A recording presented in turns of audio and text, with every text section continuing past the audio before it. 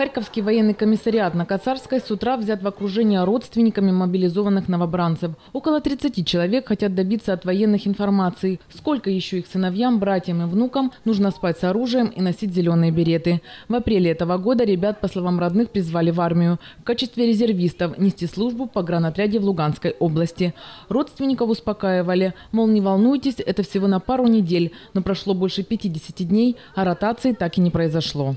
Первая ложь – это когда просто из кровати повыдергивали ребят. Обещали недельные сборы. Хорошо. Потом обещали 10 дней. Потом сказали 45 дней. Теперь ждут указа президента. А По Конституции они должны защищать, э, э, военные комиссариаты должны защищать э, наших людей всех. Они давали присягу на верность и честь украинскому народу.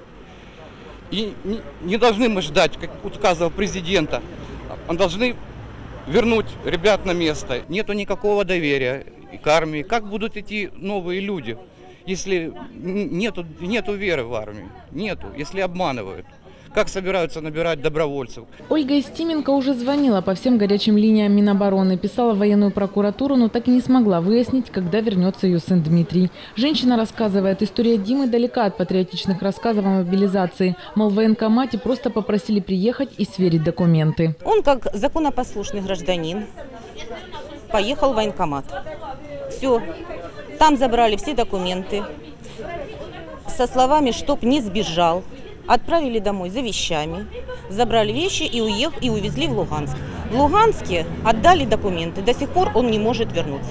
Сын Истименко, студент пятого курса политеха, учится на бюджете. Ему осталось сдать последнюю сессию. Но, скорее всего, придется терять год, говорит Ольга Владимировна, так как социальных гарантий, что сына восстановят в ВУЗе, нет. К возмущенным родителям вышел юрист комиссариата Владимир Новиков. По информации готовится о частичной демобилизации на 6 тысяч. Это э, категория, туда планируется попасть те, которые э, ну, имеют грубо сказать, социально незащищенные, многодетные отцы и категория. Конкретно, конкретно э, категория лиц, которые будут попадать, еще нам неизвестно. Министерством обороны уже проработан и подготовлен на утверждение соответствующий документ, но когда он будет введен в действие, в Харькове не знают. В то же время в облгосадминистрации уверяют, Харьковский спецбатальон может вернуться из Луганска уже через неделю. Такое предложение рассматривает руководство АТО и Минобороны. Еще до выступления матерей, уверяет Игорь Балута, он обратился с такой просьбой в Киев. Причины – безопасность Харьковской области. Нам нельзя допустить никоим образом дестабилизации в Харьковской области.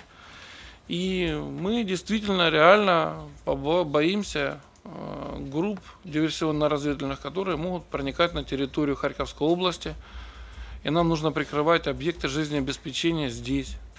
Это очень важно. А пока родители мобилизованных ребят подписываются под обращениями, которые отправят военным чиновникам разных ведомств и в администрацию президента. Если ребята не вернутся, 29 мая харьковчане обещали собраться вновь возле комиссариата, но уже более значительным составом.